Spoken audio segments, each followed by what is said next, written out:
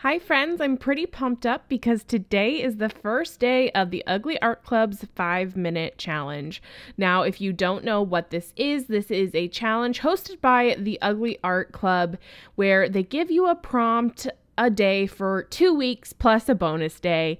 And you set the timer for five minutes and get to creating. Now, a couple disclaimers that I want to say up front. You should treat the prompts and the timer, all of that, those rules, quote unquote, um, as loosely or as strict as fits whatever you need right now in your art practice. If you're struggling to just make it into your art space, the five minute timer will be perfect for you. Go in for five minutes and see what you can do. If you want to just use the word as your prompt, if you want to use the prompt little cutouts that they have, um, that's great too. So a couple things I'm taking inspiration. So today's prompt is cycle. And first off, I'm taking inspiration from the color of that little prompt cutout. So I cut those all out ahead of time so that they're ready to go. I printed all uh, 15 out in color and I also printed them out in black and white because I wasn't quite sure what I would want each day. And I think it will change each day whether I use the color version or the black and white. So it gives me a little bit of flexibility, which I really like. Now, with the timer, I am not always great about getting to that five minutes and then just putting my hands up and stopping. I am definitely trying to stick within it as best as I can, but in the end, I would go back and work on these more if I just turned off the timer and turned off the camera. So I would rather just take you guys along for that ride so you can just see how I'm going to finish them off. But there's a couple things that I do in order to help me as best as possible stay within a shorter time frame than what I would normally create because I am moving faster and thinking about things quicker than maybe I would if I didn't have that timer set for me. So I like to think about whatever that prompt is ahead of time. So that's my first step.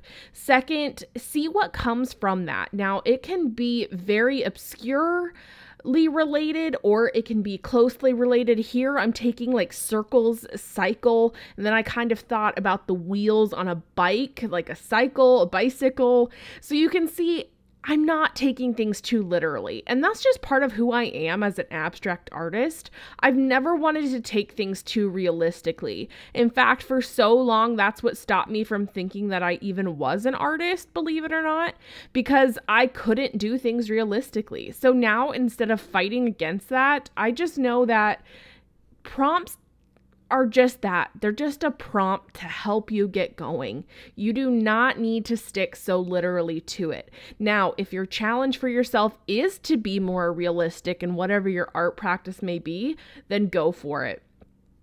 I just want you to give yourself the permission to take the prompts as loosely or as strict as you want. Take that timer um, with a grain of salt and just do what works best for you. In the end, no one is going to come by and give you a grade on this. This is not homework. This is meant to be something fun to do. So I'm adding in that little prompt. Um, I keep wanting to call it a tab. It's not a tab, but that little prompt tag on in a couple different spots. I love the pattern of this one, and so I want to add it into a couple different places.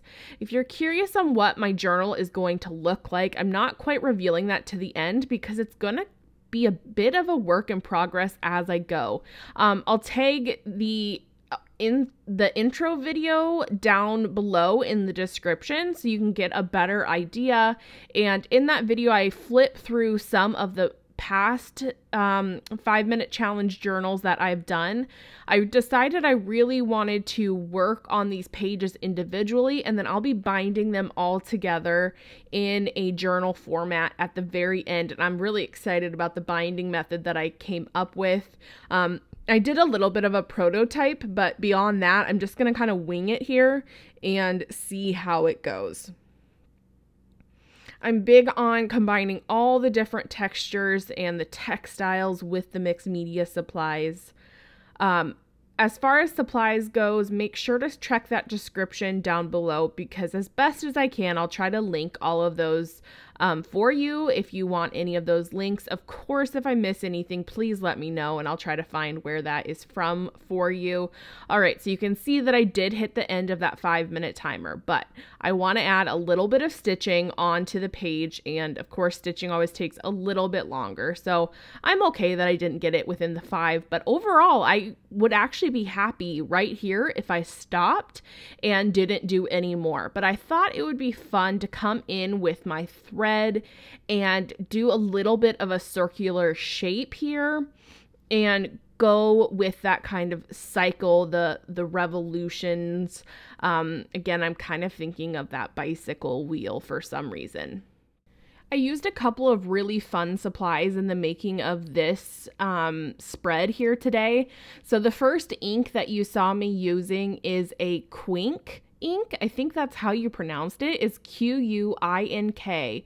And I'm really enjoying it. It's it's like a sumi ink or something you know, like you would use like that, but it's more of a Payne's gray color. And I like to combine it with water and to do little splatters, different things.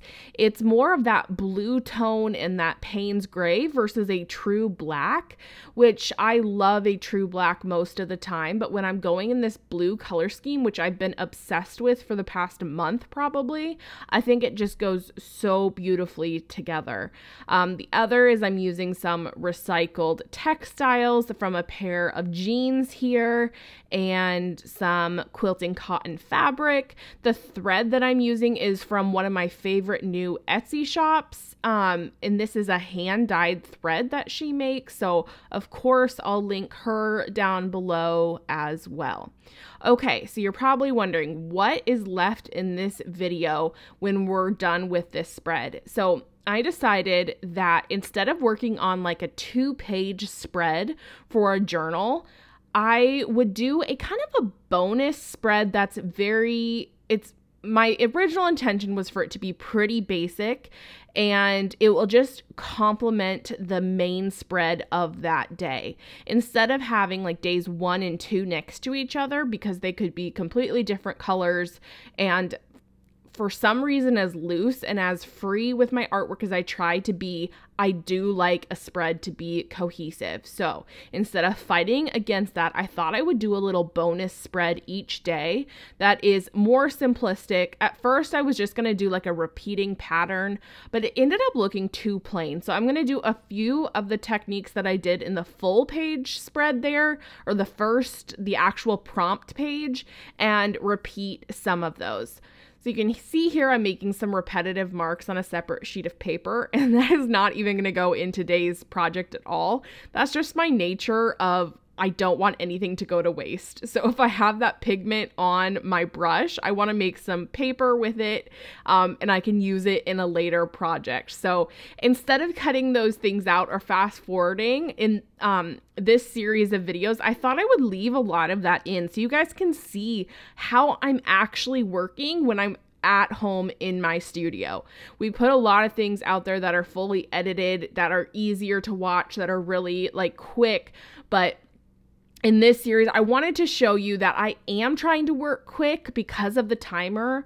But in the end, if something, if I have that pigment, I'm not going to let it go to waste. That's just who I am. So I want to bring you guys in with that on the journey. So I'm adding a few more little art marks here, a few pencil scribbles. Um, it was looking a little one dimensional. So I'm bringing now in some white gesso with my finger. And I'm loving the way that that Quink ink mixes with a gesso because it's just that Payne's gray and kind of a slate gray type of color, which is just really, really pretty in my opinion. So I'm really excited for the rest of the days, you guys. I think you're going to love it as well. Let me know in the comments. Are you participating in the challenge? And are you participating in it real time? Are you doing all the prompts in one day? Are you crazy like me a little bit?